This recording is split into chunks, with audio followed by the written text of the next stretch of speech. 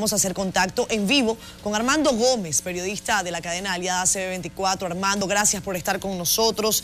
Eh, cuéntanos cuál es la situación en este momento en Costa Rica, esas personas que están albergadas, más de 5 mil, eh, hay que estar muy atentos todavía. ¿Sigue lloviendo?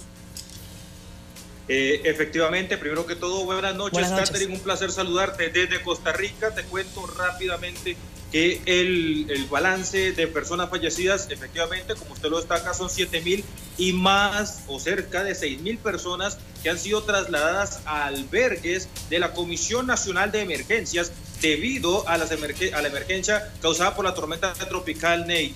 El último balance que, este es el último balance que ha ofrecido hace instantes la Comisión Nacional de Emergencias, que es como el organismo de protección civil o de resguardo en caso de emergencias, Catherine.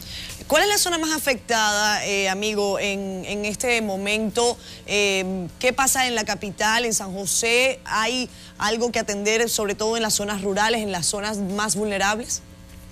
Catherine, para darte una idea, la zona más afectada es la provincia de Guanacaste, al noroeste de la capital, San José. Eh, esta zona ha presentado inundaciones llenas, este, ríos desbordados. Eh, la otra zona mayormente afectada es el Pacífico Central. Eh, esta onda tropical tiene la particularidad de que aunque se está alimentando, aunque se está desarrollando en el Caribe, su afectación está en el Pacífico, en, en el Pacífico costarricense y este ha provocado que eh, la Comisión Nacional de Emergencias tenga que atender o por lo menos tenga que acudir o habilitar 80 puntos o 80 albergues para ayudar a estas personas. Eh, en este momento en Costa Rica está lloviendo, empezó a llover hace menos de cinco minutos eh, porque forma parte también de, de, un poco del ciclo climático uh -huh. de eh, los, los efectos de esta tormenta, Catherine.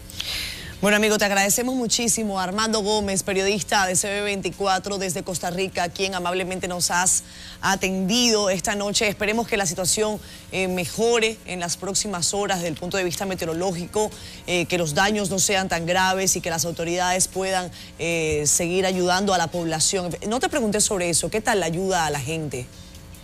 Por un lado, la Comisión Nacional de Emergencias ha activado una serie de comités locales de la propia comisión sí. para poder ayudar a las personas. Hay personas que están atrapadas en el Cerro de la Muerte. Estamos hablando a, cerca de 3.000 metros de altura hacia el sur de la capital San José. Eh, estos reportes ya están siendo procesados y la ayuda ya está llegando hacia estas personas.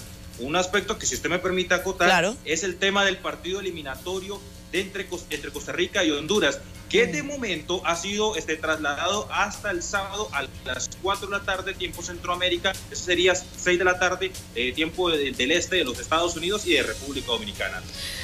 Bueno, pues amigo, muchísimas gracias por este contacto, por todo el reporte. Estaremos muy atentos de la situación allá en Centroamérica, en Costa Rica, en Nicaragua también.